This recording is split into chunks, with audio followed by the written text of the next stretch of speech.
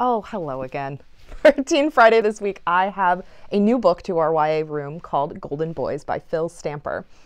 And now, this is the story of four boys who, um, the summer before their senior year, they go on a wonderful adventure that is full of summer romances, and they it's just it's beautiful.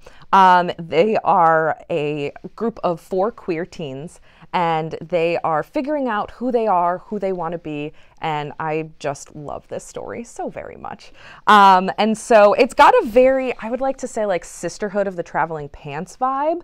Um, and I loved that book and that movie. So like this is was just the icing on top of the cake for me. Um, and so one of our booksellers, Bridey, read it, and I'm just going to read a little bit of her shelf talker. So she said, Golden Boys is the kind of book that feels real and is guaranteed to capture the hearts of readers. I anxiously await book two.